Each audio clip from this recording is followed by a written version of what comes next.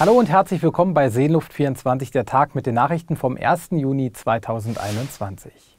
15 Jahre Netzwerk Gesunde Kinder. Gestartet wurde das unterdessen landesweit etablierte Projekt am 1. Juni 2006 in drei Brandenburger Regionen. Ausgangspunkt waren die Erfahrungen von Kinderärztinnen, Krankenschwestern und Hebammen hier im Klinikum Niederlausitz.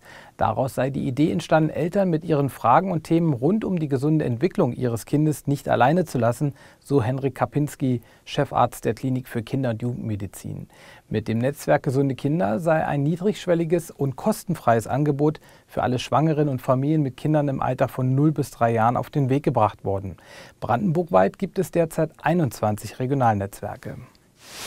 Freie Fahrt heißt es wieder in Kleinkmehlen. Dort wurde am Montag die sanierte Ortsdurchfahrt wieder frei für den Verkehr gegeben. Die Elsterwerdaer Straße in Kleinkmehlen ist seit wenigen Tagen wieder frei. Offiziell übergeben wurde sie an diesem Montag.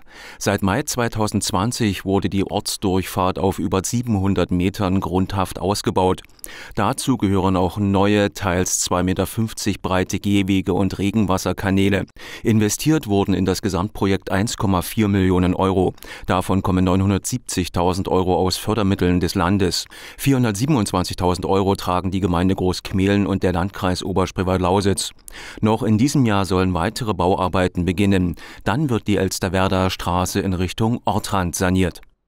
Die Zahl der Arbeitslosen in Südbrandenburg ist im Mai weiter gesunken. Die Arbeitsagentur in Senftenberg meldete am Dienstag eine Quote von 7,9 Prozent.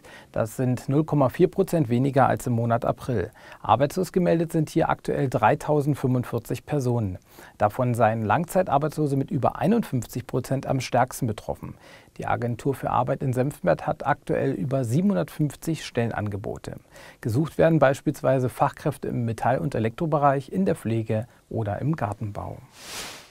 Kindertag in Schwarzheide. Am 1. Juni staunten Mädchen und Jungen aller Kitas und der Grundschule Wandelhof über außergewöhnlichen Besuch. Grund war der erneut ausgefallene Kindertag der Stadt. Strahlende Kinderaugen in Schwarzheide. Gemeinsam mit Clown Lulu hat Bürgermeister Christoph Schmidt am 1. Juni Kita und Schulkinder besucht. Neben Musik und Liedern überraschten sie die Steppkes auch mit kleinen Geschenken. Vor allen Dingen für unsere Kinder ist das ganz besonders wichtig, denn dieser Teil unserer Gesellschaft, die jüngsten und jungen Menschen, haben auch einen hohen Preis gezahlt, damit sich andere sicher fühlen. Weitere Impressionen vom Kindertag in Schwarzheide sehen Sie ab Freitag hier bei Seenluft 24. Lauchhammer ist weiter auf dem Weg in Richtung Kunstgussstadt. Mit dem Beinamen will die Kommune neugierig machen auf eine Stadt mit Geschichte und lebendiger Industriekultur. Um den Prozess für die Einwohner so transparent wie möglich zu gestalten, wurde jetzt eine neue Internetseite erstellt. Unter dem Motto Meine Stadt Kunstgussstadt ist sie über lauchhammer.de erreichbar. Kunstguss werde in Zukunft das Leitthema in der touristischen Vermarktung der Stadt sein. Zudem werde das Areal um das Kunstgussmuseum, die Kunstgießerei und die Friedensgedächtniskirche touristisch entwickelt und aufgewertet. Und nun geht es weiter mit unseren Kurzmeldungen.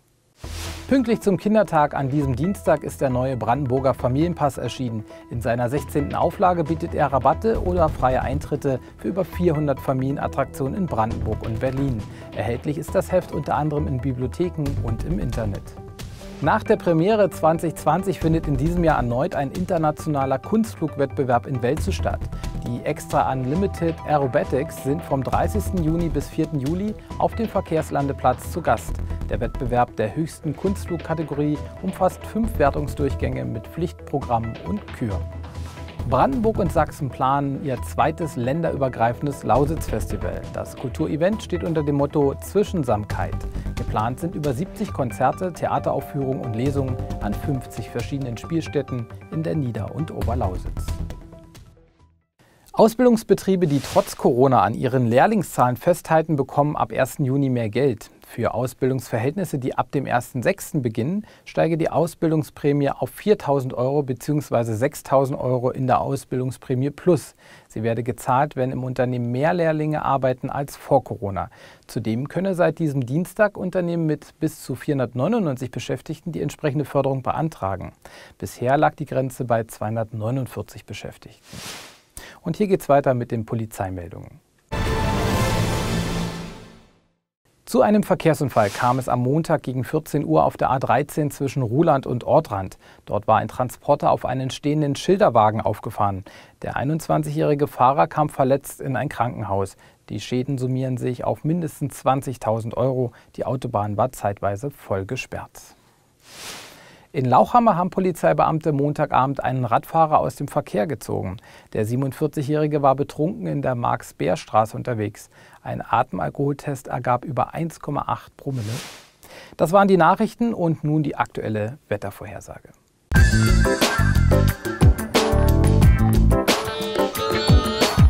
Das Wetter wird Ihnen präsentiert von den Stadtwerken Senftenberg, Ihrem Partner für Gas, Strom und Fernwärme.